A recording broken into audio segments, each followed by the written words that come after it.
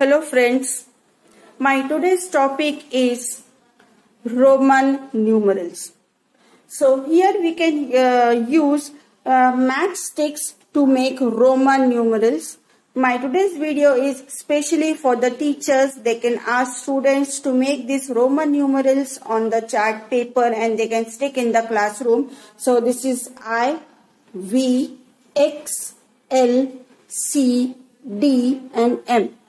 I, 1, V, 5, X, 10, L, 50, C, 100, D, 500, M, 1000. I have shown you with the fingers. Once again, I will explain you. One more thing, you can see that you can give assignment also.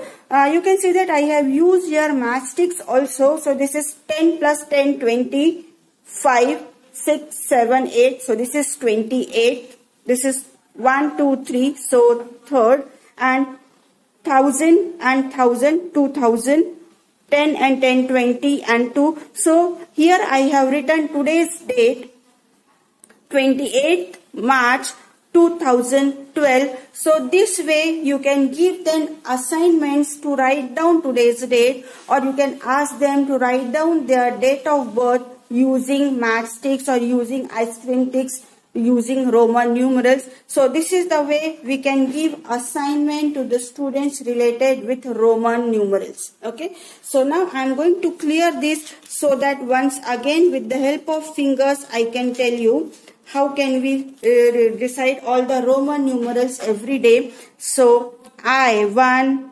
V5, X10, L50, C100, D500, M1000. So this is the way we can use all the Roman numerals, Roman numerals using our fingers.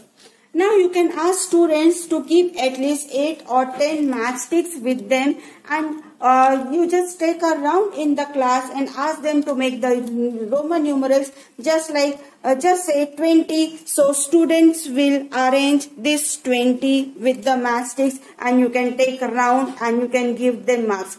Now just change it uh, you want uh, 16 so 10 plus 5 and 6, 16. So this way just you tell them the numbers, they will arrange matchsticks on the table just like if you want 90. So how to make 90? 100. So this is the Roman numeral for 100. Minus 10. So minus is always on the left hand side. The rule related with the subtraction smaller number on the left hand side is always subtracted. So now XC will give you 90. Now just change the number you want 49. So how to write down 40? 50 minus 10. So this is your 50L. Again minus is on the left hand side. So 50 minus 10. So this will become 40 and 9. How to make it 9? So this is your 10 minus 1. So this will become 49. Now ask any other number. Suppose you want to show that 60. So how to make 60? 50. Now plus 10 plus means always on the right hand side related with the addition rule. So 50 plus 10 will give you 60. Now suppose 65. So just they have to add here 5. So this will show you 65. So this is the way with math sticks you can do this activity in the class. So your Roman number chapter you can finish off only in one period and the concepts will be clear to the students and students will enjoy this activity in the class.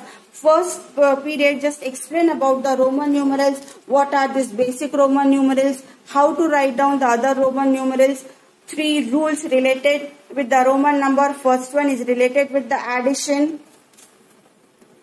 Second one is related with the subtraction and the one more rule is there with the repetition. Roman number can be repeated only three times. So 1 plus 1, 2 plus 1, 3. So using these basic Roman symbols, addition rule, subtraction rule and repetition rule, you can create all the Roman numbers. And second period, you can do this activity so that in two periods, your Roman numeral chapter will be over. And definitely students are going to enjoy this activity even uh, for the next one week also you can ask them initially five minutes for the Roman numerals you just tell them the numbers they will create the Roman numbers or next one week you can ask students in your notebook also in maths notebook you will write date using Roman numerals the way I have written in the starting.